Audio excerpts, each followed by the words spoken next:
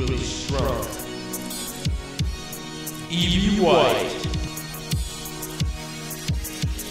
My name is Strunk, And they call me White. here to teach you how to put the pen down right. I see that your writing is a little bit wild. These are the elements of style. Will Strunk in the house, but don't call me Junior. Grammatical genius, number one word groomer. I teach English 8 at the School of Cornell. Choose your words carefully, or I'll put you through hell. E.B. White on the mic, former student of Strunk.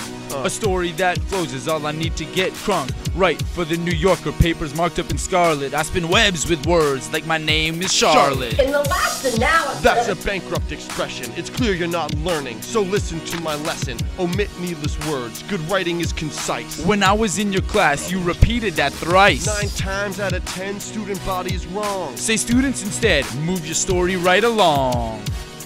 Move your story right along. What? My name is Strunk, And they call me White. here to teach you how to put the pen down right. I see that your writing is a little bit wild. These are the Elements of style. Split infinitive, never definitive. Sounds unintelligent, dumb, and inelegant. Just say it like you meant, always write with intent. Each word precious like Benjamins that you spent. Do not join independent clauses with the comma. But I love it, it's cool. I don't care if you wanna.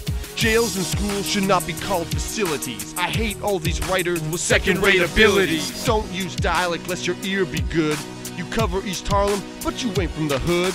Be clear, brief, bold with each story told. If it's your goal to turn ink to gold, my name is Strunk. and they call me White. Now you know how to put the pen down right. When I read your work, you know I'm gonna smile. Those were The elements of style. Those were the elements of style. CUJ12. Journalism, baby. Haha! Those were The elements of style.